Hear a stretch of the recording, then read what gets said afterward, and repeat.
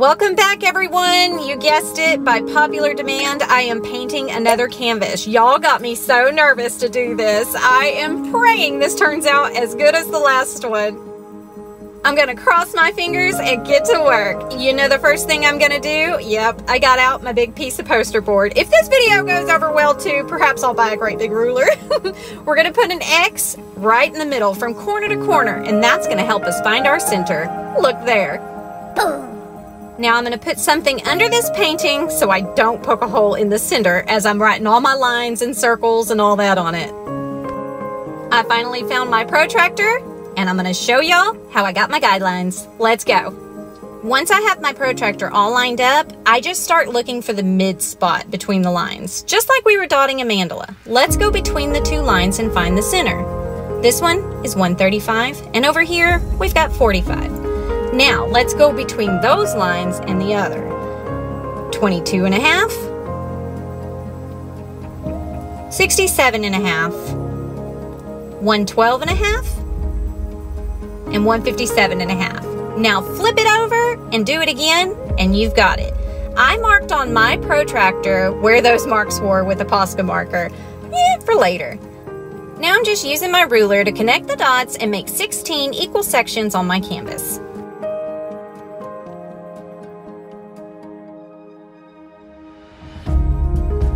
I'm gonna get out my DIY compass thingamajig and I am gonna get the circles on here so we can get to dotting another canvas.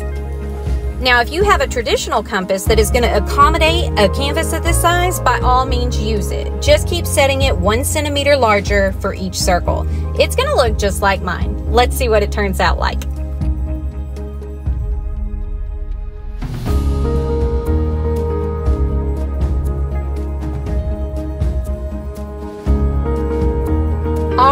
There you have it. I'm gonna pick out some paint colors and we're gonna get started.